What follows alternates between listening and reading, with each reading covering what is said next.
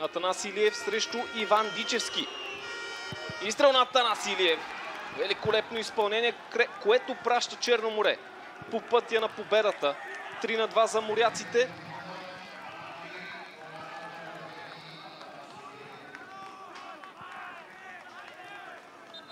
ти първо в рамките на няколко минути Арда успя да вкара два безответни гола и да изненада своя опонент. След това Черно море върна равенството и сега след 11 метров наказателен удар. Втори такъв в двубоя.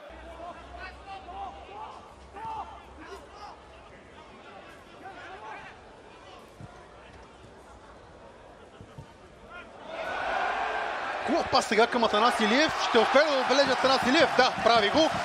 Един на 0 в полза на Черно море в 32-та минута. Е, след като едно попадение на Атанас Илиев е отменено заради засада този път, успя тук да се измъкне от засадата. Много тънко положение, но като че ли беше в редовна позиция. След това и Петър Дебърлиев игра с топката, но видя, че е на границата на наказателното поле.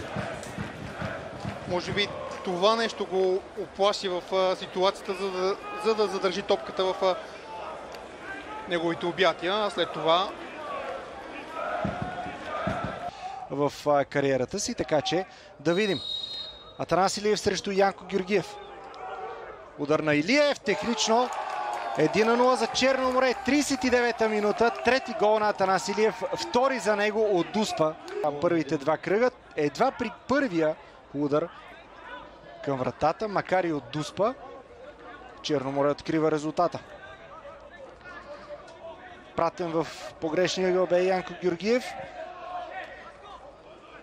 Този път по различен начин на изпълнение от централния нападател. Пак за Александър Василев. Поредно центриране към Атанас. Този път топката на вратата.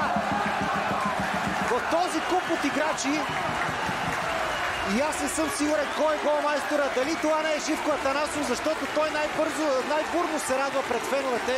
Още веднъж обаче. Александра Василев с центрирането. Атанас Илиев отправи удар с глава. Спасен от Мартин Величков. Най-близо до гол линията обаче се оказа Живко Атанасов. Не са едно и две попаденията, които опитният централен защитник е вкарвал по този начин след добавка. Застава за топката. Изключително ключов момент в този матч. Сигналът е даден на Танас Илиев.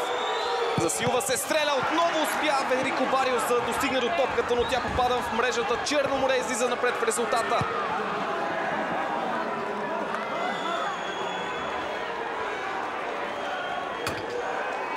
Черно море най-накрая стига може би до заслужен откриващ гол в този двубой до заслужена предина.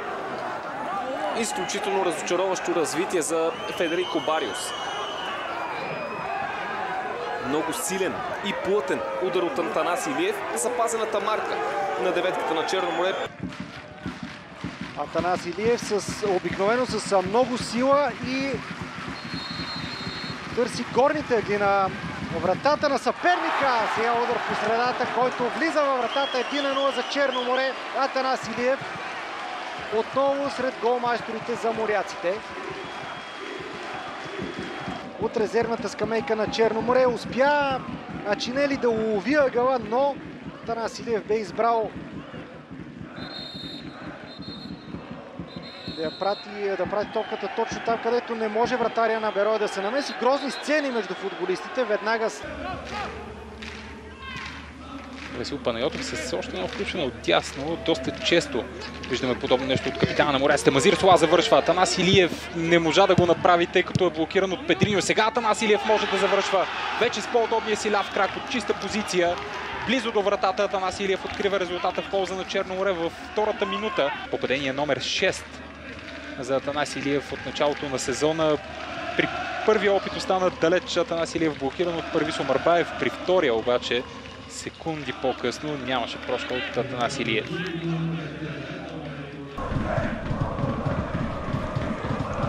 Пет от девете гола Живко Атанасов в българския футбол са дошли само срещу плодивски отбори. Атанас Илиев сега на чиста позиция. Гол! Флага на съдята е ниско долу, което означава седми гол за Атанас Илиев от началото на сезона. Голмайстора на моряците отново напомня за себе си. Разбира се, той не се зарадва. На Потев Пловдив.